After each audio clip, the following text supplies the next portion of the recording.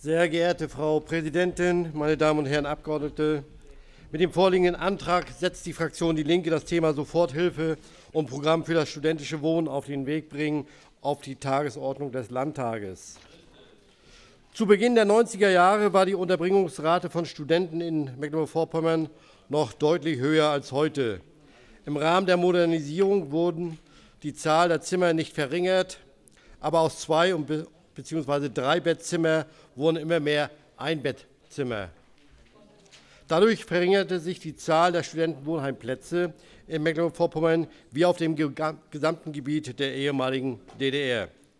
Die Umwandlung war unter anderem eine Folge, dass der Wohnungsmarkt in den 90er Jahren sich deutlich entspannt hatte und selbst im innerstädtischen Bereich es günstige Alternativen gab. Dieser Trend hat sich mittlerweile umgekehrt, was zu deutlich steigenden Mieten insbesondere in Rostock, Greifswald und teilweise auch in Wismar geführt hat. Die Landesregierung schätzt die studentische Wohnraumversorgung in Mecklenburg-Vorpommern insgesamt als zufriedenstellend ein. Insbesondere am Studierendenwerk in Greifswald zeichnet sich vor dem Hintergrund der Internationalisierung ein Bedarf für studentisches Wohnen ab.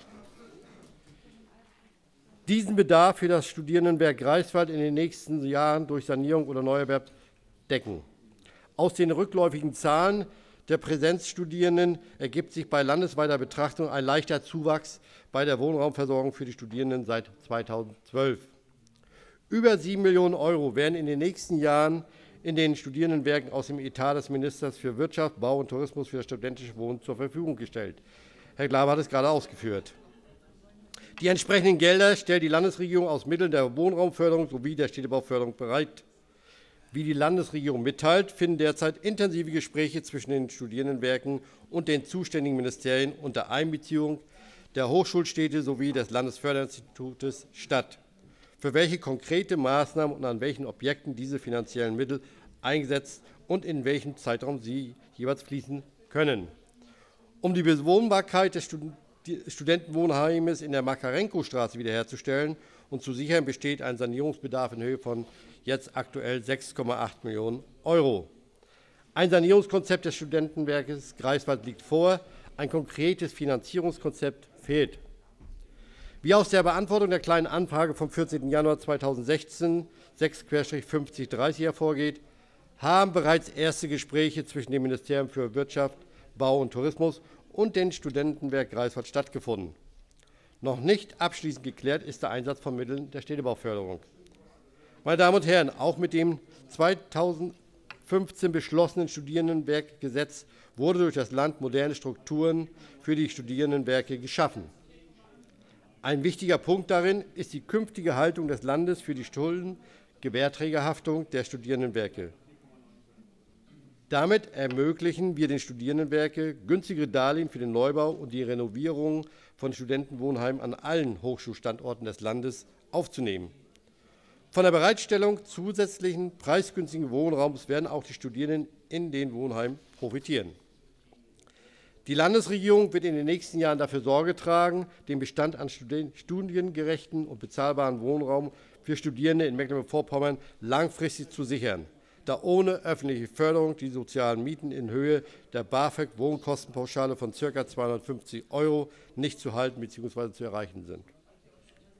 Zwischen dem Minister für Bau äh, Wirtschaft, Bau und Tourismus und dem Minister für Bildung, Wissenschaft und Kultur besteht Einvernehmen dahingehend, die Studierendenwerke in den nächsten Jahren bei ihrem Bauvorhaben in Höhe von insgesamt ca. 7 bis 8 Millionen Euro zu unterstützen. Die Landesregierung wird weiter an dieser Zielsetzung festhalten. So konnte schon das Vorhaben im Studierendenwerk Greifswald Sanierung der Bachstraße mit Hilfe von Städtebaufördermitteln durch das Wirtschaftsministerium in Höhe von 500.000 Euro gefördert werden. Auch darauf hat der Minister schon hingewiesen. Im Zuge der Prüfung werden Prüfung weiterer bestehender Fördermöglichkeiten, Bundesprogramm Fördermittel im Rahmen des Modernisierungsprogramms kann festgestellt werden, dass diese Programme sich gegenwärtig schwer eignen, den studentischen Wohnungsbau zu fördern. Auch die Finanzierung über Städtebauförderung gestaltet sich in der Praxis schwierig, da diese einen entsprechenden Beschluss der Stadt sowie einen Eigenanteil an der Finanzierung voraussetzen. Meine Damen und Herren Abgeordnete, unabhängig davon laufen die Vorbereitung und Planung zwischen der Landesregierung und den Studierendenwerken.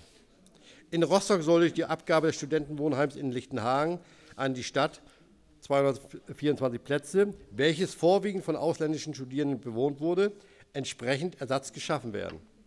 So ist zum Beispiel vorgesehen, die Wohnheitsplätze in der Max-Planck-Straße im Campusnähe um weitere 100 Plätze zu erweitern. Weitere mögliche Standorte in Rostock werden derzeit geprüft, so zum Beispiel am Werfdreieck und in der Südstadt. Auch mit dem Studierendenwerk Greifswald wurden und werden diverse Gespräche, Gespräche und Prüfungen zum Finanzierungskonzept für die Sanierung des Studentenwohnheims in Greifswald, Makarenko-Straße 47a bis C geführt.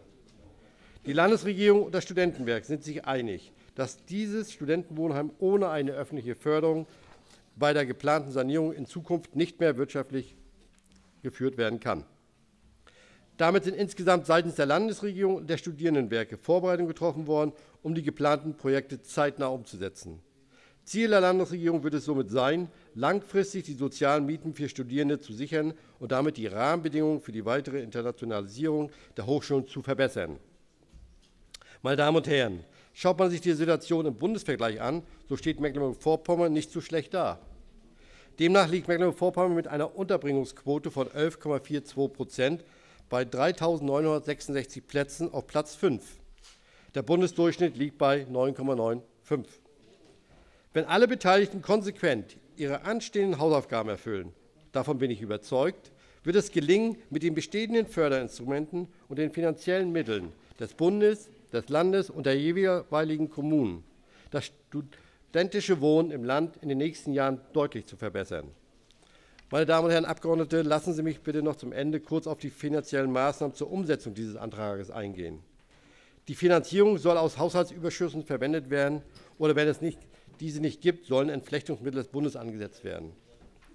Dieses Finanzierungskonzept der Fraktion Die Linke hat mit solider und nachhaltiger Finanzpolitik aber gar nichts gemein.